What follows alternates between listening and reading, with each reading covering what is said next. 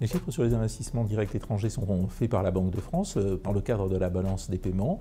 Et donc, euh, on dispose à la fois de chiffres de flux et euh, de chiffres de stock.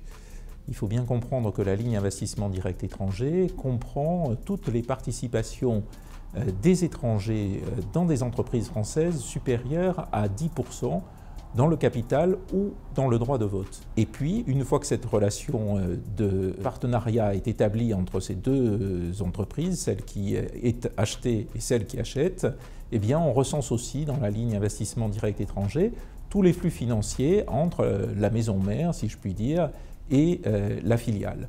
Et puis enfin, dans ces investissements directs étrangers, il y a les investissements des ménages non résidents, donc étrangers, en France, et donc, pour apprécier euh, vraiment euh, les investissements directs étrangers des entreprises, il est essentiel de regarder une partie seulement de la ligne des investissements directs étrangers, qui sont les investissements en capital, c'est-à-dire cette prise de participation euh, supérieure à 10% dans les droits de vote ou dans le capital.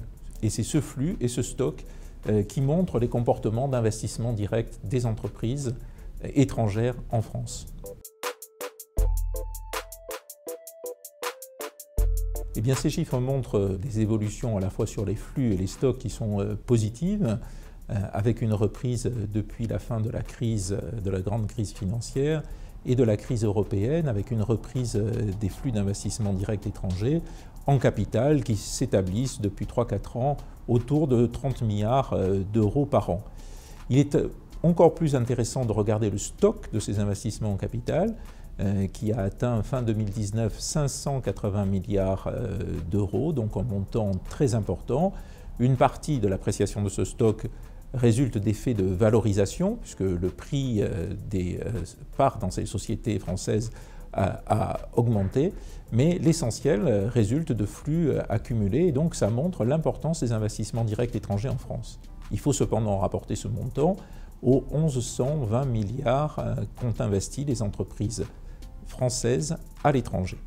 Et donc, euh, évidemment, un stock beaucoup plus important qui génère des revenus plus importants. Et la ligne revenus d'investissement direct étranger, euh, elle est euh, évidemment très bénéficiaire pour la France puisque nous avons un stock d'investissement à l'étranger plus important que le stock d'investissement chez nous. Ces investissements directs étrangers, on le voit, ils sont essentiellement dans les grands secteurs marchands et notamment dans l'industrie et dans le commerce. Pourquoi? Eh bien parce que euh, ces investissements directs étrangers, ils contribuent à consolider la place de la France dans les chaînes de valeur internationales de ces produits qui sont euh, particulièrement échangés. Donc euh, c'est stratégiquement très important de se placer dans les chaînes de valeur internationales, à la fois que les entreprises françaises à l'étranger puissent avoir leur place dans ces chaînes, mais aussi que le territoire national puisse avoir euh, sa place euh, dans les grandes chaînes de valeur euh, internationales. Donc c'est structurant, ça permet de maintenir ou de créer des emplois.